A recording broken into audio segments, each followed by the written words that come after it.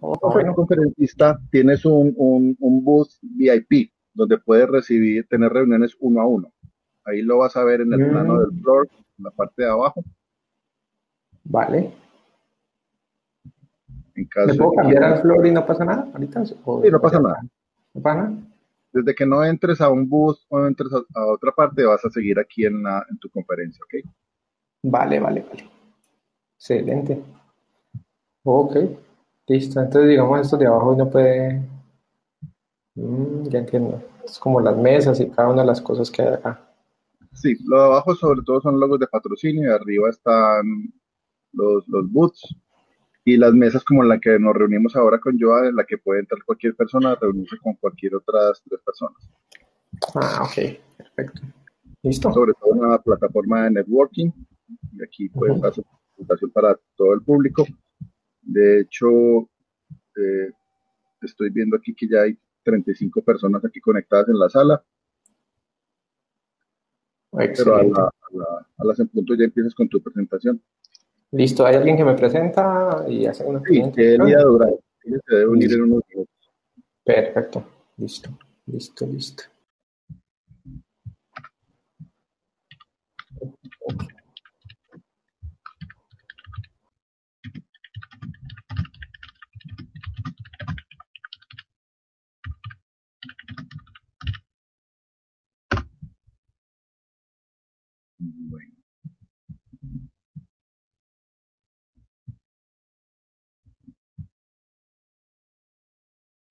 Hacer un anuncio.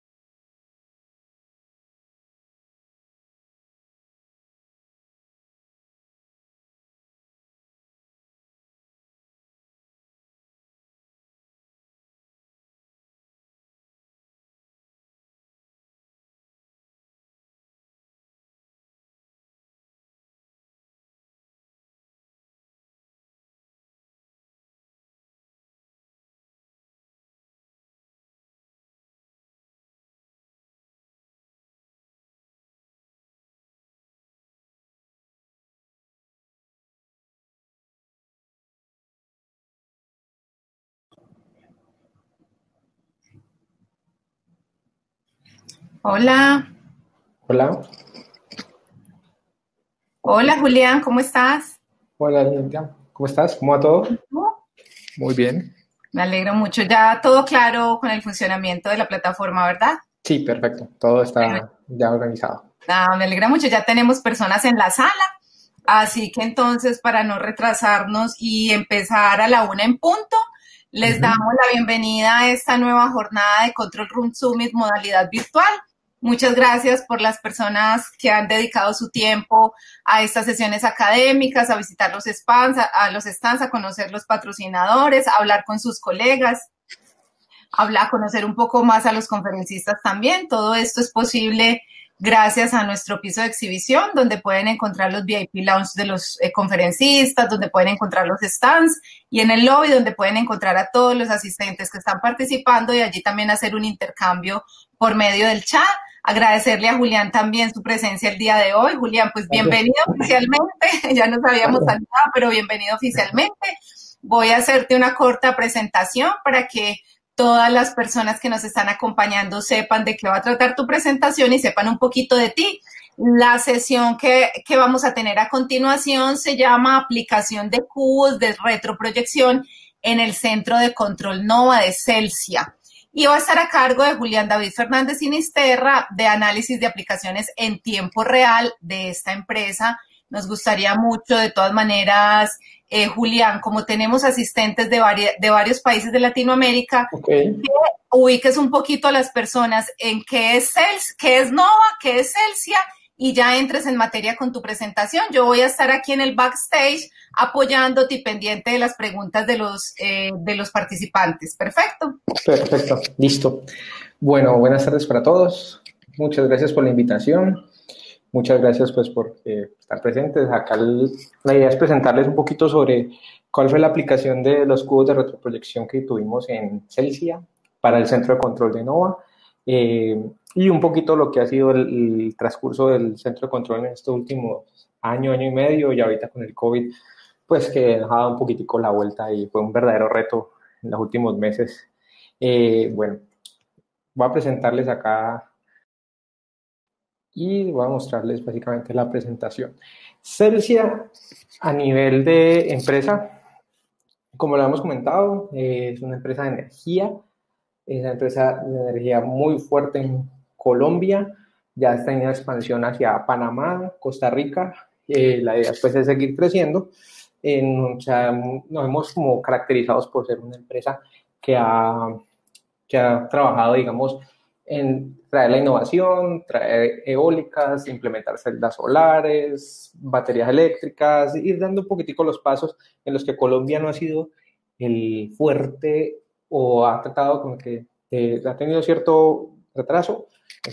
Lo que ha implementado Celsia es darle más paso a lo que es la, la todo lo que es el, el tema solar. Eh, somos muy fuertes en, en, a nivel de hidroeléctricas.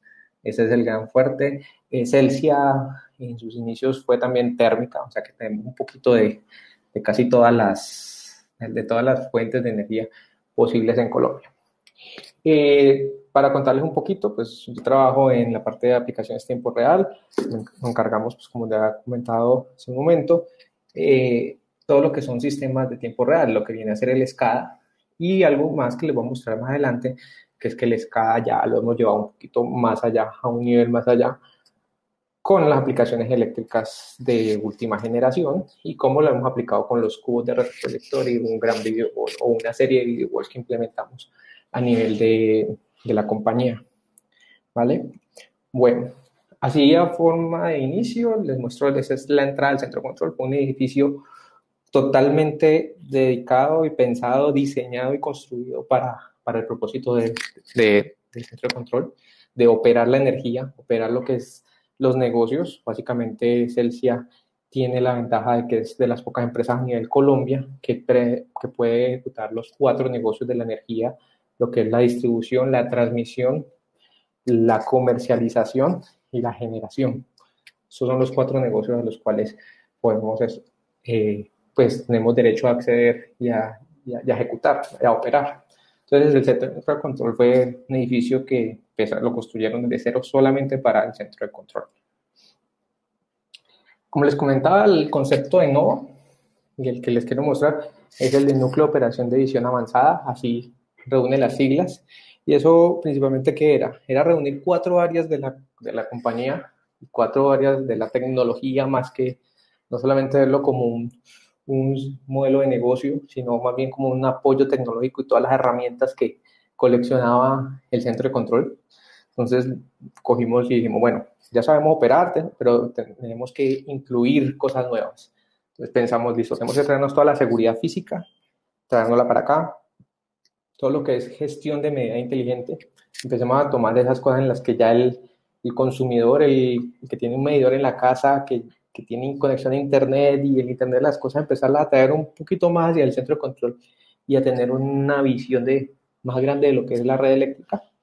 Y todo eso, cómo llegamos y lo trabajamos en la parte del mercado mayorista, qué es lo que está pasando a nivel de la generación, lo que está pasando a nivel de, de, de, de, qué tanta energía están consumiendo en el país en tiempo real para que en la gente del mercado, la gente del mercado mayorista, como parece acá, pues pueda saber que si van a vender, a qué precio van a vender y todo eso. Entonces siempre pensamos en un tema colaborativo. Ahí fue donde empezamos a decir, listo, necesitamos, si un, necesitamos de un video wall, que ha sido la herramienta que es pues, a nivel de, en Colombia hay muchas empresas como ICM, EPM, que han tenido sus centros de control con un video wall grandísimo. Dijimos, bueno, si esto va a ser una, un, un centro de control que va a, eh, a, recoger todo esto, tenemos que tener un video, un video wall grande. Y idealmente se pensó, como lo voy a mostrar en las siguientes slides, a este nivel. Se pensó un centro de control con el video wall, así como te lo estoy mostrando en la siguiente foto, está diseñado. Eso es solamente lo que comprende el centro de control de operación de la transmisión y la distribución y generación. Lo que era CINCE, que es el encargado de la seguridad física, lo que viene haciendo la gestión de la media, tienen otros, otros mini centros de control, otras salas dentro del edificio en las que se encargan de su negocio.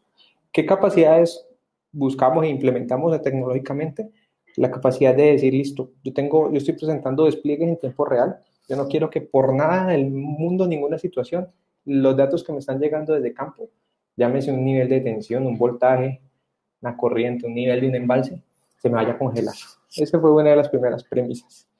Y como segunda, fue decir, listo, tengo esas, esas, esas variables, todo eso desplegado, pero ¿qué pasa si hoy en día alguien de las otras áreas lo necesita?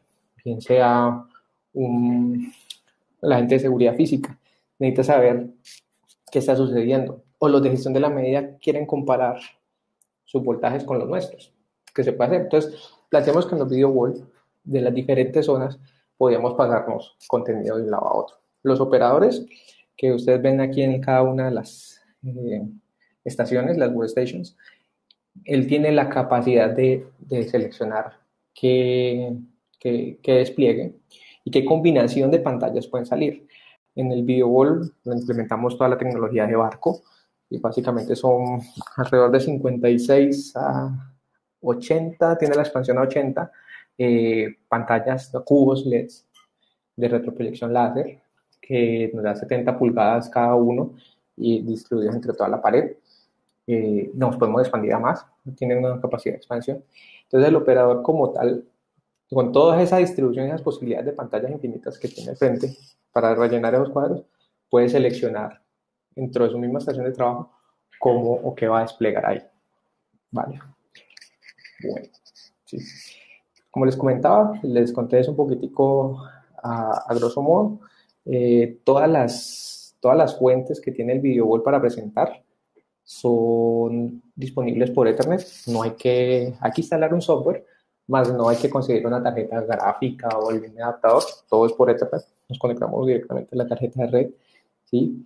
La cantidad de, de límites, la, la, cantidad de, datos viene a ser ilimitada, pues que puede, puede mostrar. Podemos hacer las combinaciones entre centro de, entre datos de, de control, entre datos del AMS, y es algo que les voy a mostrar más adelante, que viene siendo el, el ADMS. Vale. ¿Qué es la idea? Era tener capacidad de tener perspectivas. A operadores les interesaba tener combinaciones de pantallas para ciertas condiciones operativas. Entonces, si hay una condición en la que está mostrando temas meramente informativos de, de, un negocio, de la transmisión a la distribución, lo implementábamos en, en las pantallas, básicamente. Es eso. Bueno, les voy a mostrar un poquito de las, en el siguiente slide, las aplicaciones. Entonces, acá vemos varias siglas, ¿sí? Nuestro negocio como tal de la energía en Celsia eh, es controlar, controlar y supervisar.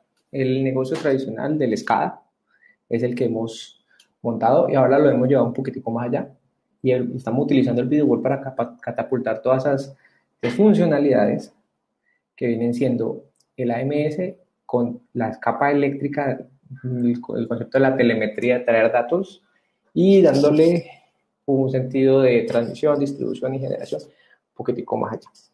Adicional a eso, hicimos el, inventamos el Business Intelligence, empezamos a traer esas, esa herramienta que hoy por hoy es muy buena para, las, para los managers, los gerentes, la parte que hace toda la de, de revenues y temas de economía, temas de, de ventas, que ha sido muy bueno. Dijimos, venga, adoptémoslo, porque tiene capacidades gráficas muy interesantes y nos trajimos un Data Warehouse y nos trajimos herramientas como Power BI, que está disponible con toda la suite de, Microsoft, y Tableau.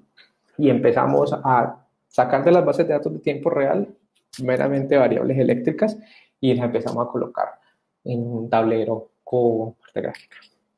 Gestión de la medida, lo que les comentaba, eso tiene unas siglas muy técnicas que se llama MDM AMI, y esas siglas pues vienen a, ser las que traducen la medida inteligente, que cada casa en un futuro, y la idea es hasta dónde estamos llevando y Celsia está enfocando el centro de control para poder controlar todos esos medidores y poder medir todos los medidores que vamos a tener cada uno en nuestras casas. En Colombia, el tema de la energía a ese nivel, pues ha tenido unas consideraciones.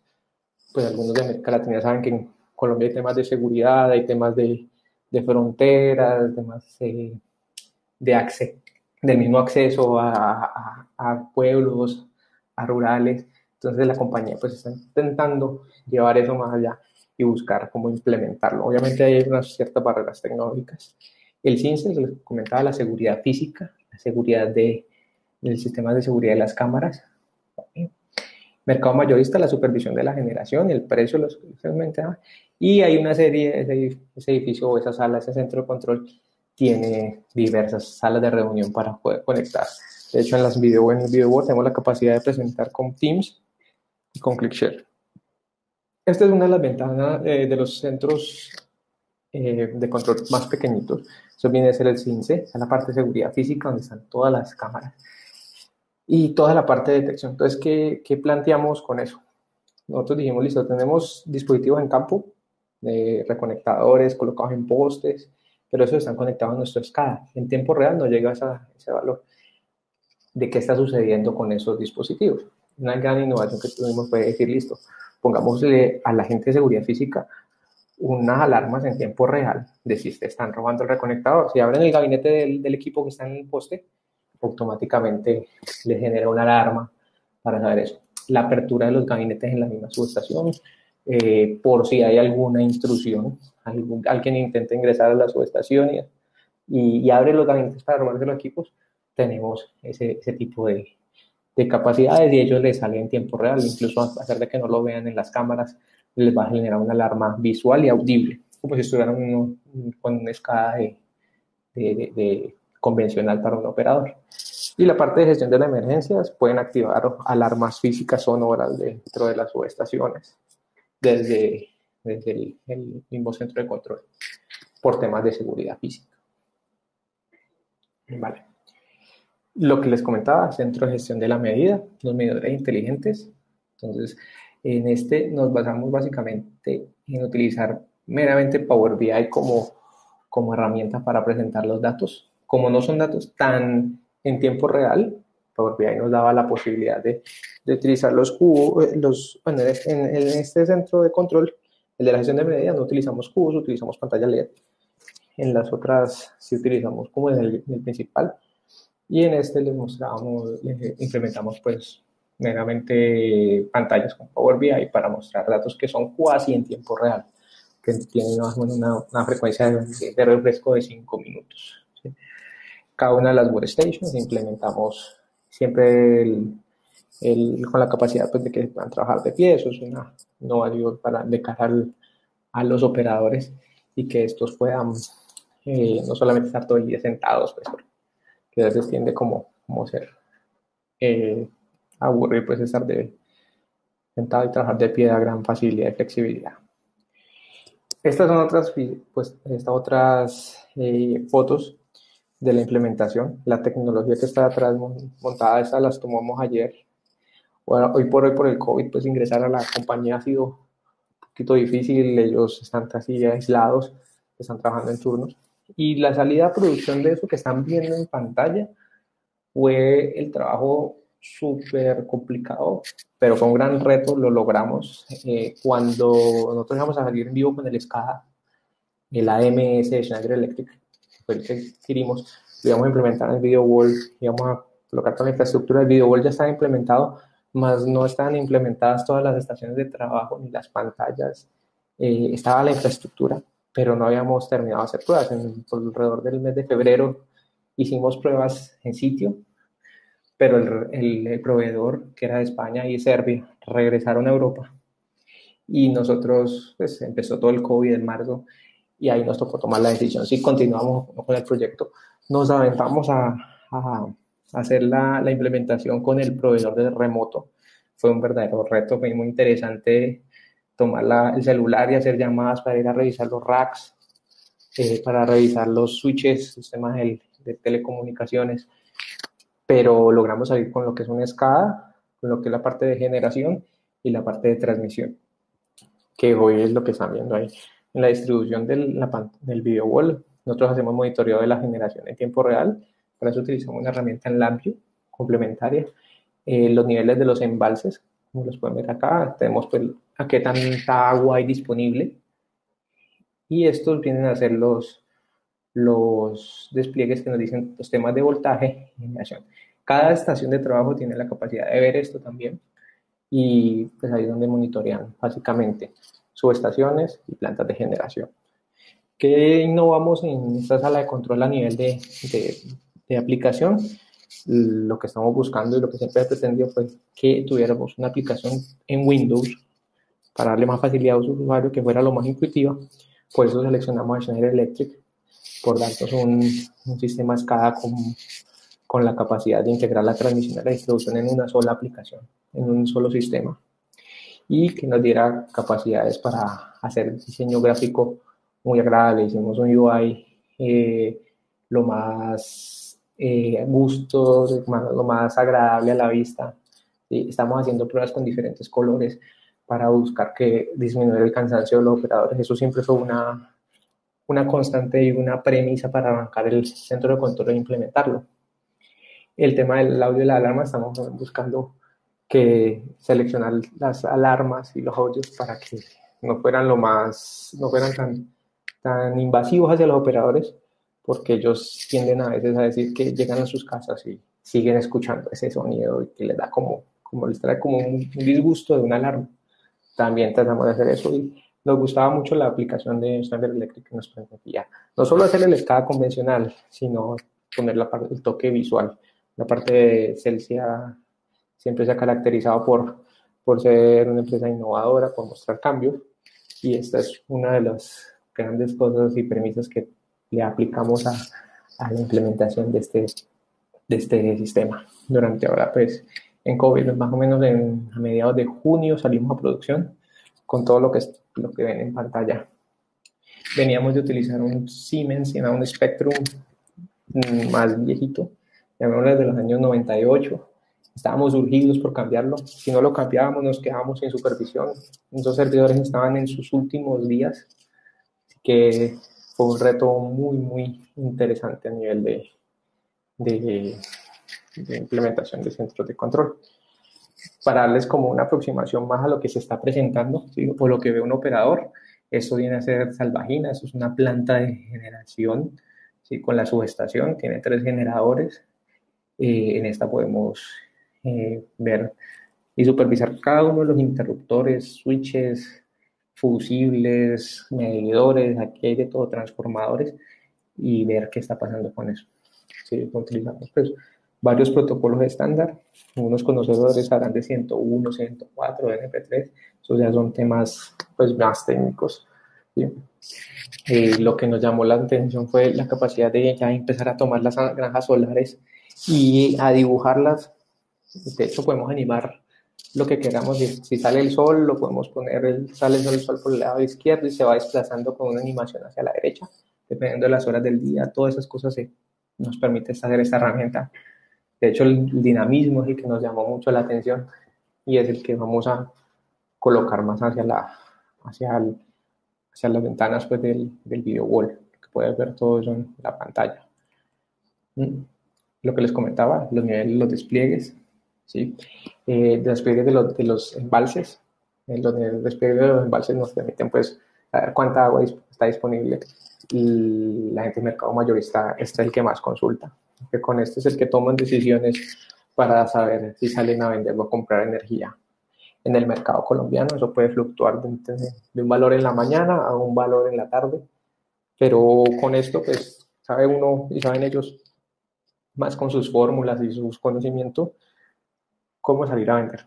La ventaja de esto es que estos despliegues no están eh, condicionados solamente al, operador. Si, el, si, uno, si una persona de mercado mayorista quiere ver este u otro despliegue, porque sabe un poquitico más del tema eléctrico, fácilmente lo puede solicitar desde en su video wall personal o en su video wall de cada una de las salas. Eh, una implementación muy importante fue el tema de la generación. Nosotros podemos hacer control desde cada, eh, una de las plantas de generación directamente desde, el centro de control. El centro de control puede tomar mando, que desactiven el, el local y nos lo pongan en remoto para que desde el sistema podamos hacerle el control, es decir, que generemos tanta cantidad de energía a determinada hora por tanto tiempo. Ese es un sistema de control remoto bueno. Y ya por último, les, les comentaba la innovación de empezar a utilizar eh, Business Intelligence. Esto que ven aquí está Blue en sus primeras etapas. Esto fue con lo que salimos a producción. Lo que queremos es ya empezar a mostrar los temas de geolocalización, la importancia pues de mostrar qué tan cargado están las, los transformadores o las, las, eh, las subestaciones en un nivel de mapas para ver si hay alguna relación entre la, ubicación geográfica y el consumo eléctrico. ¿sí? Este que ven al costado izquierdo viene a ser el tema de los voltajes, cómo se están comportando las barras de las subestaciones, o sea, qué tan cargada está la subestación con respecto a cuánto están jalando los clientes. Es decir, si un sector, digamos, una ciudad como Cali, que es más grande, que es una, una ciudad muy conocida aquí, pues, de las más grandes de Colombia, cuánto jala o cuánto consume con respecto a otras. Hay varios municipios, nosotros somos una empresa que nos caracterizamos por tener una facilidad rural, pues hay mucha parte rural, mucha parte eh, de otras ciudades más grandes, pero, pero ver cómo es esa distribución y empezar a buscar variables que nos den otra visibilidad, no solo lo que nos muestran las subestaciones. Lo mismo tratamos de hacer con la generación, ¿sí? entonces qué tanto intercambiamos con otras, otros departamentos. Colombia se divide en el departamento, Celsia está ubicada más bien en el, en el departamento del Valle del Cauca, el departamento de Antioquia en la costa, pero por su ubicación geográfica las tres están separadas. La gran, gran parte de la red está condensada en el Valle del Cauca. Ya lo que es la costa y Antioquia tiene más bien generación, pero no tiene todo el negocio de la distribución y la transmisión. Entonces, y empezamos pues, a decir, listo, ¿qué tanto estamos consumiendo de otros municipios o de otros departamentos de Colombia? Estamos jalando de, de, de generación y qué tanto le estamos entregando. Eso es algo que hoy por hoy se medía, pero puntualmente con medidores. Ahora lo estamos llevando a entornos más gráficos, a una burbujita o dos burbujitas representando lo que es, lo, lo que es eh, lo que es de, agua generado pues por, por, hidráulicas o por térmicas y qué tantos lleva eso, en, qué horas. Entonces tratamos de, de aplicar eso. Como estos no son datos de tiempo real, pues utilizarlos en eh, esos, nosotros llamamos cuasi tiempo real, nosotros tenemos una frecuencia de actualización de 5 minutos. Eh, los BI no están diseñados para eso y yo creo que para allá futuro estos, este tipo de, de herramientas gráficas para empezar a utilizarlas, que pues, se carguen muy, muy rápido. Obviamente esto tiene un gran volumen de, de cálculo pues, de carga. Entonces, eh, para allá alguna innovación, adquiriremos una, un, un sistema de este tipo.